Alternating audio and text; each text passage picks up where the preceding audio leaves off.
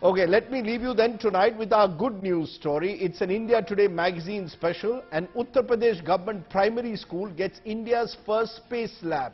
Students have now a strong desire to become scientists instead of doctors and engineers. We wish them well and it's great to see this story coming in from Uttar Pradesh.